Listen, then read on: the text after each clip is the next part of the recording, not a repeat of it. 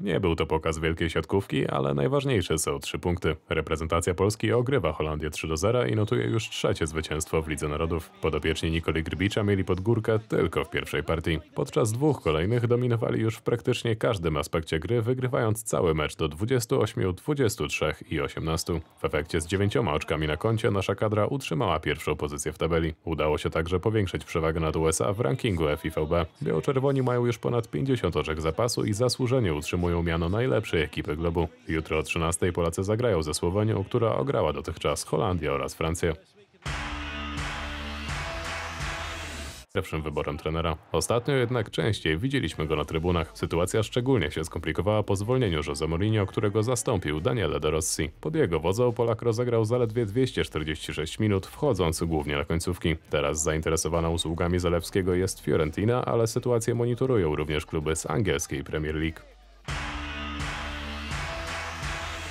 Kapitalny sezon zakończony z przytupem. Hiszpańska Girona przypieczętowała historyczne trzecie miejsce w lidze, pokonując zdegradowaną już Granadę aż 7 do 0. Do wysokiego zwycięstwa swoją ekipę poprowadził Artem Dowbyk. Ukrainiec popisał się hat i tym samym wysunął się na prowadzenie w klasyfikacji strzelców. Ma obecnie 24 trafienia. Z kolejno 19 i 18 bramkami na trzecim i czwartym miejscu plasują się natomiast Bellingham i Lewandowski. Anglik i Polak musieliby więc dokonać czegoś nieprawdopodobnego, aby przynajmniej dogonić Dowbyka. Barcelona za zakończy zmagania jutrzejszym meczem z Sevillą. Będzie to także pożegnanie opiekuna Blaugrany Xaviego Hernandeza. Real natomiast zagra dziś z Betisem.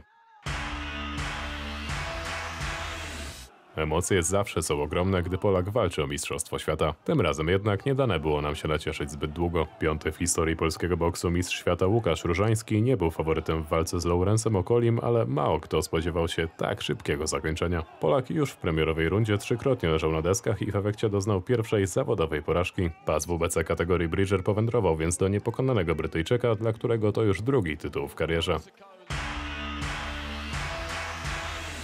Trzy sekundy to wcale nie tak mało czasu. Tej nocy udowodnił to Luka Doncic, który zapewnił Dallas Mavericks drugie zwycięstwo w rywalizacji z Minnesota Timberwolves. Słoweniec popisał się nerwami ze stali, rzucając za trzy w ostatniej akcji meczu. W efekcie ekipa z Teksasu jest już niezwykle blisko tytułu konferencji zachodniej oraz awansu do wielkiego finału rozgrywek. Dwóch zwycięstw potrzebuje również zespół Boston Celtics. Celtowie prowadzą 2-0 w rywalizacji z Indiana Pacers.